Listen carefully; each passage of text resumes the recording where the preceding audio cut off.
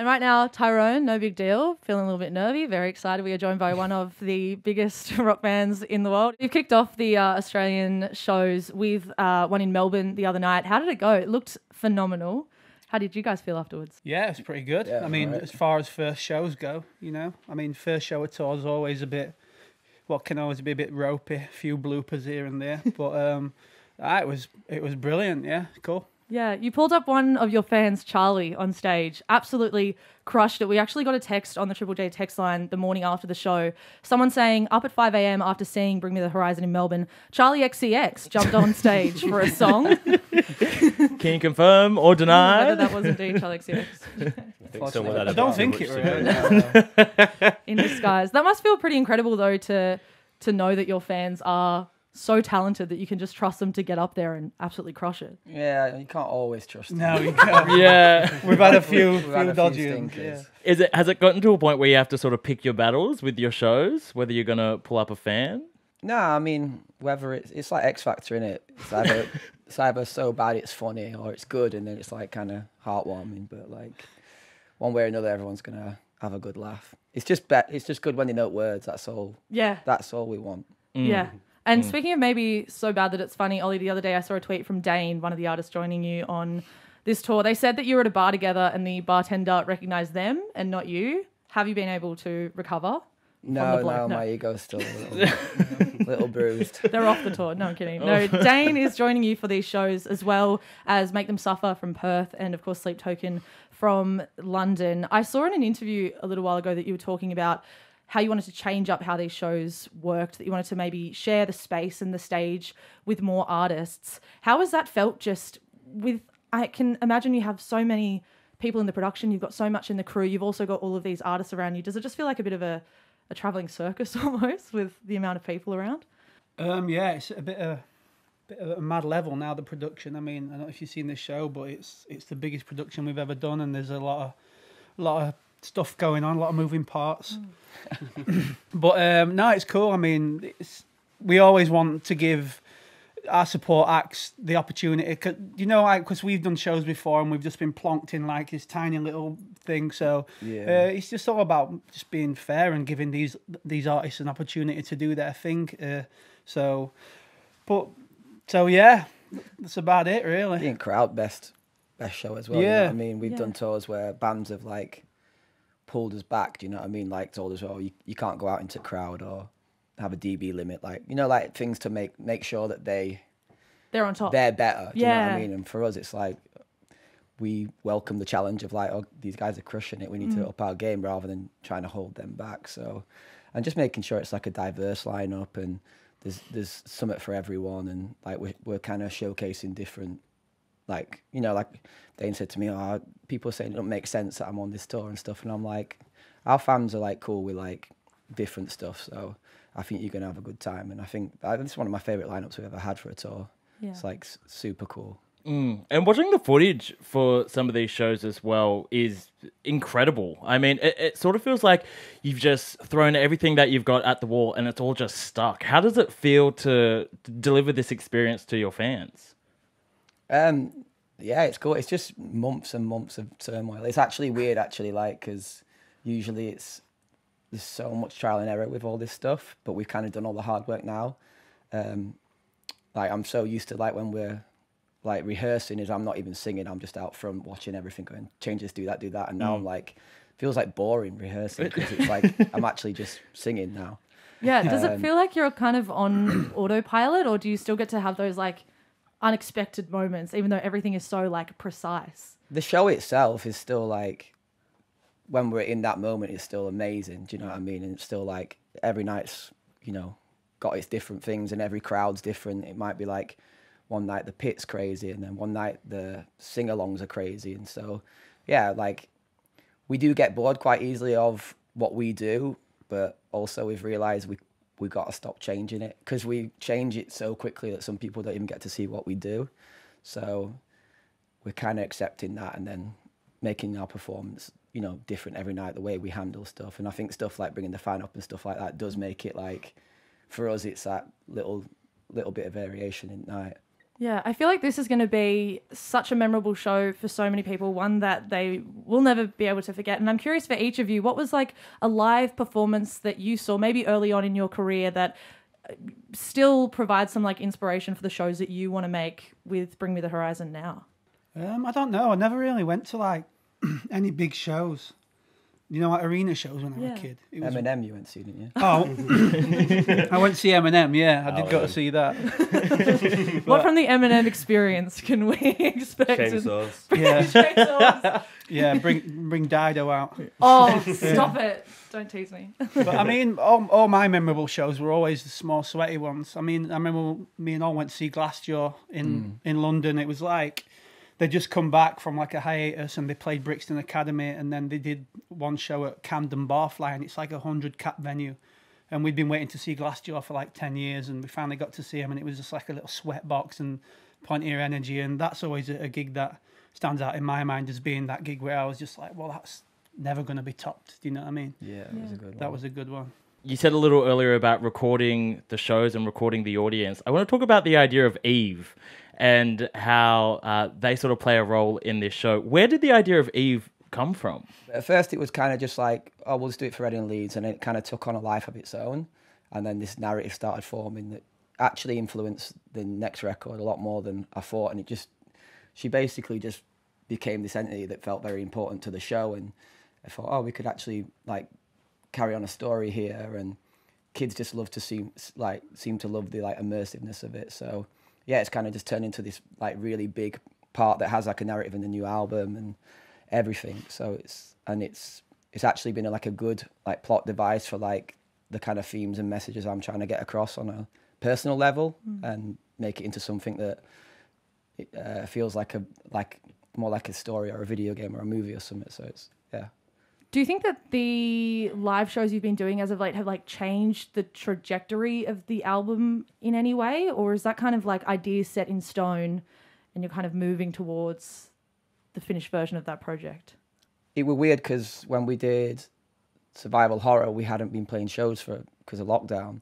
So all that record was made without any of that feel. Whereas maybe this next one, you do like when you feel like a like a certain tempo or a bounce or way people react to certain things live, uh, like hits, and you you are influenced. But to be honest, I'm not sure if if it is.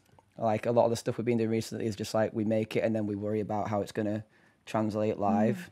But yeah, it does usually influence you on some level, especially because we've been writing on tour as well. So sometimes you like. When do you find time to write? There's actually a lot more time, like a lot more time than you think. Like, you know, we play for an hour and a half at like nine o'clock at night, so we do have a full day. Um, although there's not as much time as we think. Like you think that, and then there's always like press or you know all things out in day. But it is a real good way to like kill some time. Do you know what I mean? Because you do have three or four hours a day at least where you're like, what the fuck do I do with my life? Mm. Hearing you talk about the narrative as well with this new record, um, I mean, tw- 20 years on from your first EP, it feels as though Bring Me the Horizon are stronger than ever. But how do each of you feel at this point in your career? Old. Achy. Now you know what? I think we all feel pretty good. It's like you say, it's just this band just doesn't ever cease to like surprise you from where we can take it. From like you say, like twenty years this month. Actually, we've been a band. We played our first show, so I mean, we didn't even think we'd still be around like twenty months later. Do you know what I mean? So. Um, it, it just is what it is. It's just that old saying, you know what I mean? Just you just gotta just gotta ride it, ride the wave, and Yeah. see where it takes you. And fortunately for us, it's taken us 20 years down the line. Yeah, but we're all a bit, bit older, a bit achier. But I know we're we're, we're still good.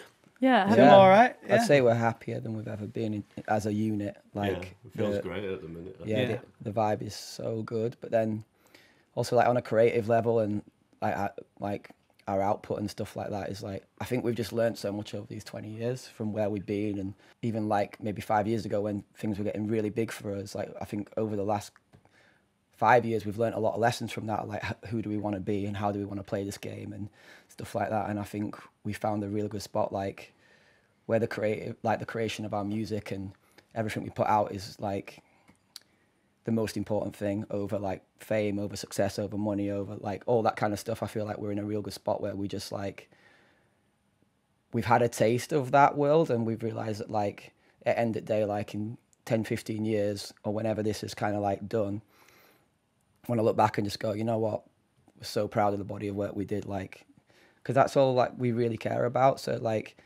and I think it sounds like yeah, that's obvious, but it's it's a real like hard headspace to to get as a band, especially when you're a band that of like when you go into like headlining festivals and getting big and people are saying like oh you could be the next or or like what you just said when we came in or one of the biggest rock bands in the world it's like so easy for that to mess with your head hmm. because it's and not in a negative way but Yeah. i'm saying like all i got to say in my head is like that's not true and like it doesn't matter that it's not that's not true do you know what i mean Yeah. and i think that's uh it's a really it's really easy to to just fall off and and like just be like high on your own supply, believe your own hype, and get lazy and get complacent.